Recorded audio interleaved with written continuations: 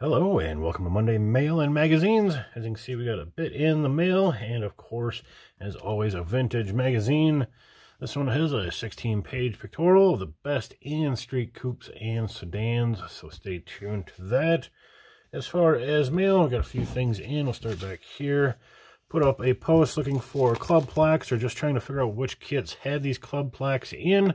And a gentleman reached out, said he had a little batch of them that he'd be willing to send me and certainly did. Do appreciate that, Joe, if you do watch, as well as the, the plaques.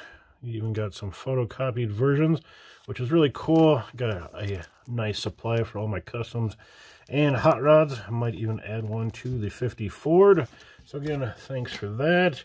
And over here, coming in from a good friend of the channel of mine, and that is Tom. Got a whole slew of parts he's been going through, and that's what I was looking for. Wasn't really sure, but I said I would take any kind of trinkety type stuff. I think these like record players, TVs, any of them little little accessories that you can add to a build are just super neat. A uh, little out of the ordinary. I do appreciate it. I have to dig into these, see what's all in there. Got a few tires, some nice white wall slicks. Can always use those. Love me some white walls and a body. He had a few of them there, so I decided to take one. Just in case I do a chop top, always have a spare or just get in a bad bad kit or something. I thought it would be nice to have a spare. But last but not least for the mail is the FineScale Modeler, the Contest Cars Special Edition Annual. Super excited to get this one. Lots of fantastic models inside.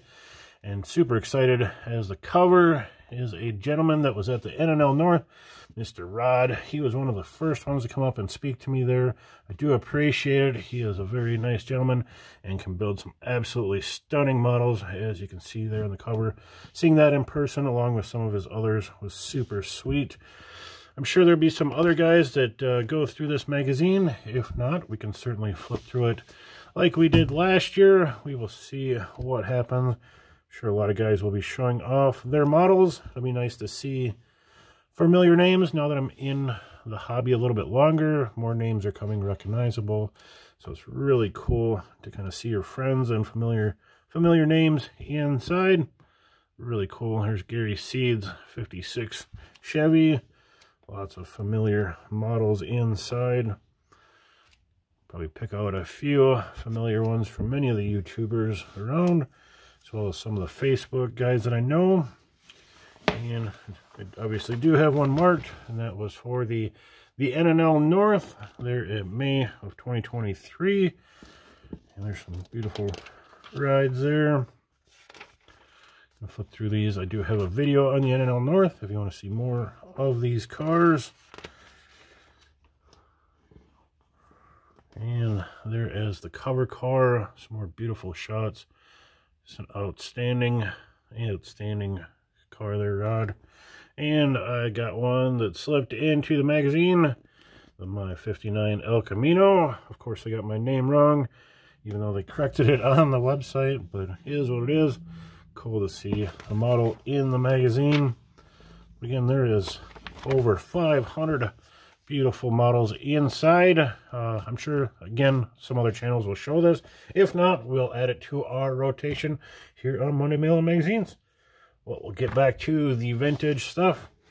Again, Car Craft, April of 1959, 16-page pictorial of the best coupes, street coupes and sedans. Some beautiful rides on the cover. It's a really cool one down there. Beauties. Getting in, always lots of cart action, cart parts. Getting in, shopping around. We got a quarter midget trailer. Some of those old school trophies. So cool. Better than just the the the boring old trophies. Racing steering wheel. We got some connecting rods.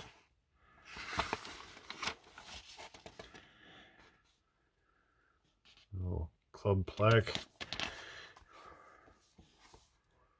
Oh, nice looking 50 olds. No, 40 Ford.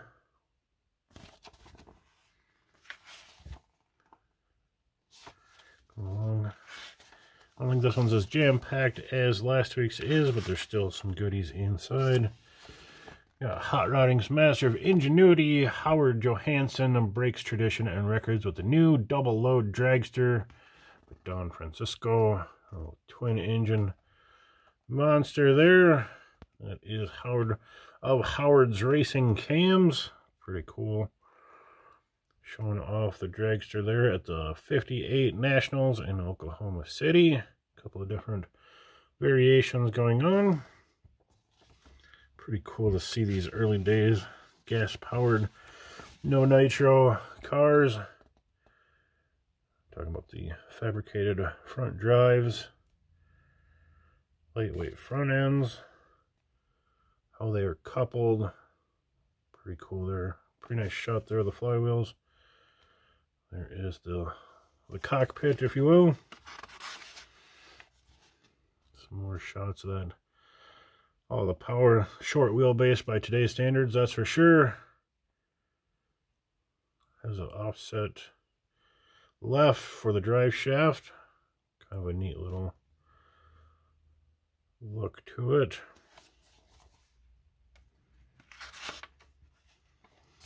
Sam Lads Ford proves radical customizing isn't necessary to set a stunning style.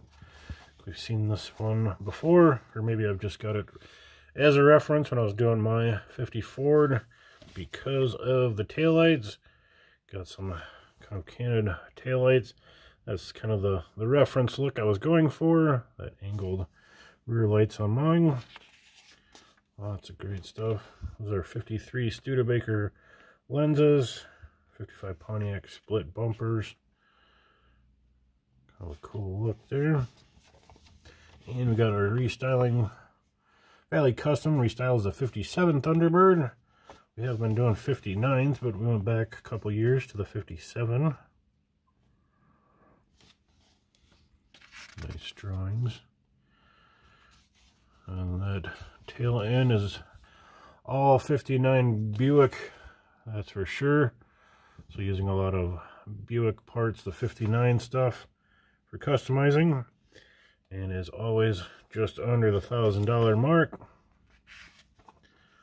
Quick shifts, new conversion kits make it easy to switch from column shift to floor shift. Seen a lot of advertisements. Now we're doing a nice kind of in-depth article. A little how to how to assemble, how to apply. And getting into the beauty and power combined in this select array of coupes and sedans.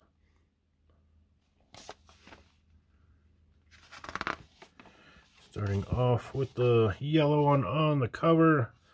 Let you soak in that color as we look through. 26 Ford Model T body on a 31 Chevy frame. Chassis is narrowed 6 inches in the rear to allow fitting of the body.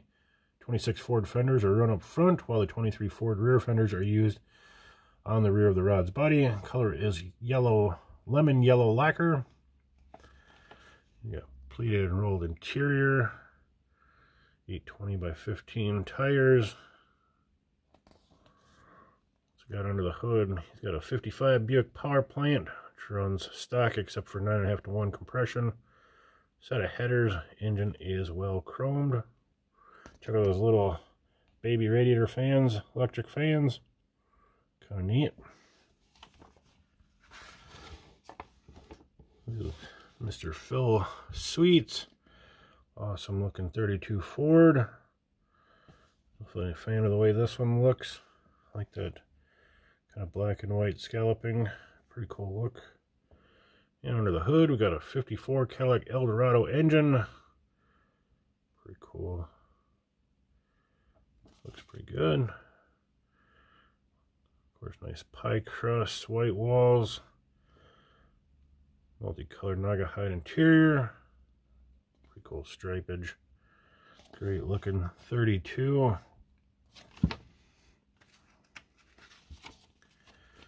This one's Mr. Ed Ross.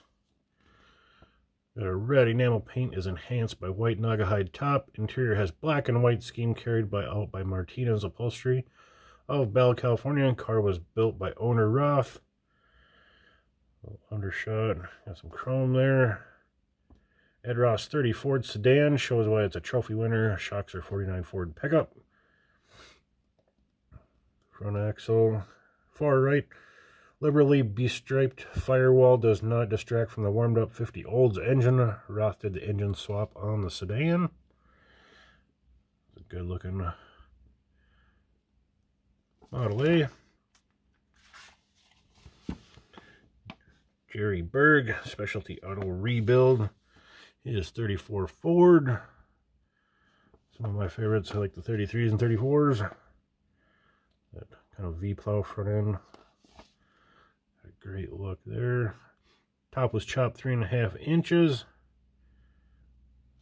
Great look. On the back side. Lime gold coupe with emerald green scallops sits with mild rake produced by unequal sized tires. 820s aft, 670s forward. Smooth contours of the body given further enhancement by absence of little eye catchers which break the line of vision and sometimes distract the car's overall beauty and shape proportions. Check that interior, got pleated dash, pretty cool. And under the hood, got a little baby Hemi, 279 DeSoto, Isky cam, push rods, lifters, Jahns pistons, Weiand carb.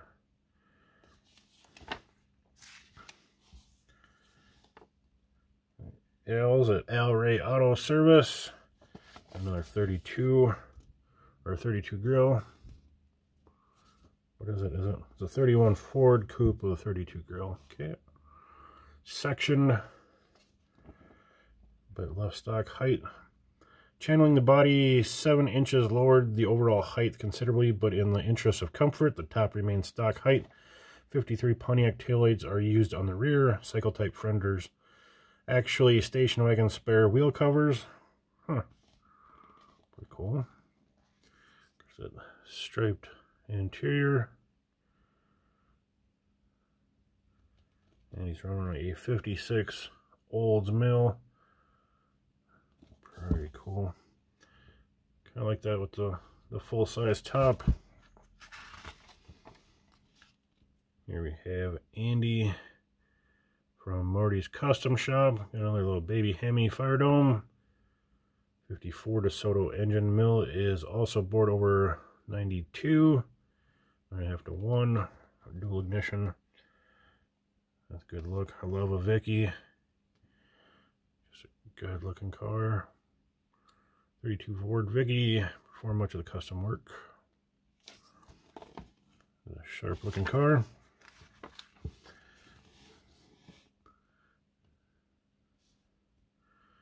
Top is chopped a total of 4 inches. Remainder of body is stock. Rake is achieved through 40 Ford front end with Dagude axle, 34 Ford rear with reversed spring eyes, 40 Ford steering, brakes also used. 32 Ford dash, full of S&W gauges, 40 Ford steering, and a Lincoln trans. Really cool. Checkered grills, adapting 58 Buick grills is the easy route to a custom front end. Kind of that dotted pattern.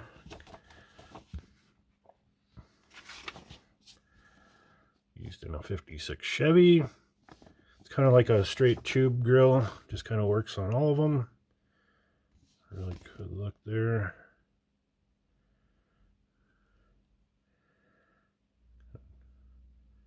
Trim to fit.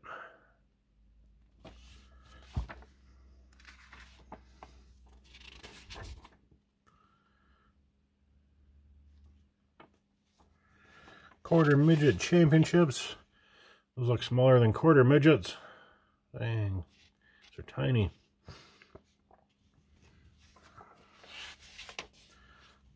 Some youngsters in their leathers. Sweet looking rides. Flames and scallops.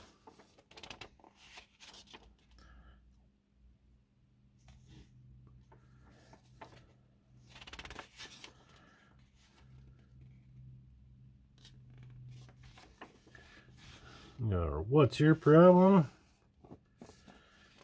Into the, the end of her. Like I said, there wasn't as much going on in this one, but still got to go through her. What's your problem? Go-karts. Honest Charlie's. More on the double load dragster.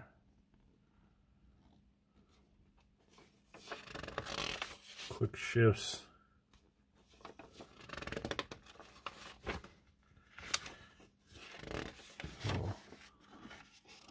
Fuel injection conversion. And of course we gotta see our girl on the rear. This is Miss Pat Harris. Do holding the clutch for that little Chrysler Fire, fire Dome. Nice shot.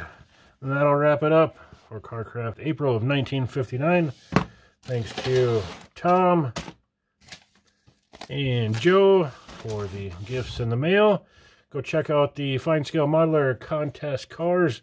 Again, we'll see if anybody else shows off the magazine. If not, we will go through it again on the channel. But until then, we'll see you next time.